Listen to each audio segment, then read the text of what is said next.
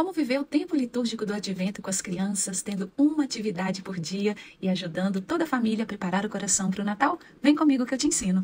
Este material do Ateliê Mãos de Maria já está prontinho para imprimir.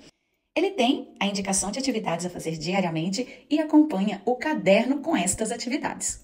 Para montar é muito fácil, você vai colar as duas partes da frente do calendário onde tem as janelinhas e depois as duas partes de trás onde tem as atividades.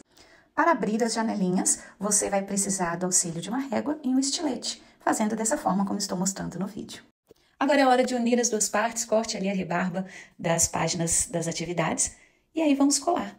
Você vai passar a cola bem nos miolinhos, bem no meinho e em volta onde não estão abertas as janelinhas. Confira se as duas páginas estão alinhadas antes de colar. Estando tudo ok, só colar e pronto! Você tem em mãos uma poderosa ferramenta de evangelização dentro da sua casa.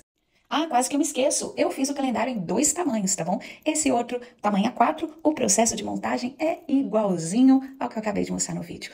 Acesse o nosso site e prepare o seu.